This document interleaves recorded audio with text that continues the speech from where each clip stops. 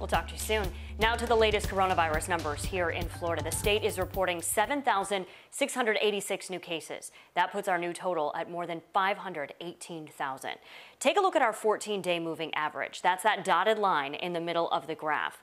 It continues to head down, a trend that we've been waiting to see more than two months after Florida entered phase two of reopening.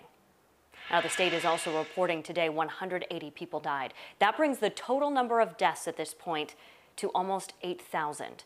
87,725 more people have tested in the state. With 7,600 coming back positive, that puts our percent positive at 10.12%. Our 14 day moving average continues to trend downward.